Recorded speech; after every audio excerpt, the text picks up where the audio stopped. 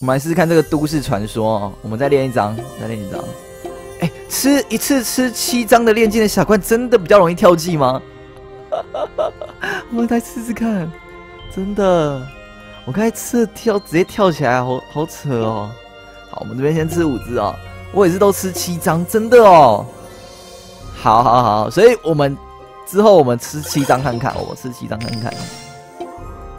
来哦来哦来哦，先吃小鸟，然后再吃这个七张。一二三四五，这是什么邪门的吃技啊？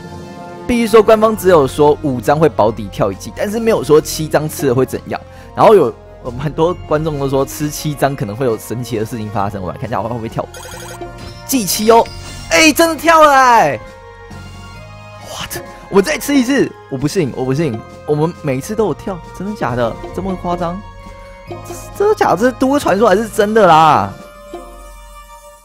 什么都市传说又多一个啦？七张，好，我来看看，这有跳吗？这有跳吗？好，我们再吃一次七七，刚好是。刚好像是九，对不对？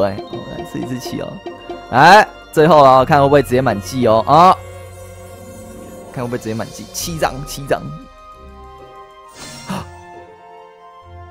满了，满了！哎，所以有蛮大几率是可以直接跳两季以上的呢。哎，一次吃七张，好像是那种这都市传说哎，大家有 有这个，你们自己自己吃有没有这个感觉呢？也都可以留言跟我讲一下。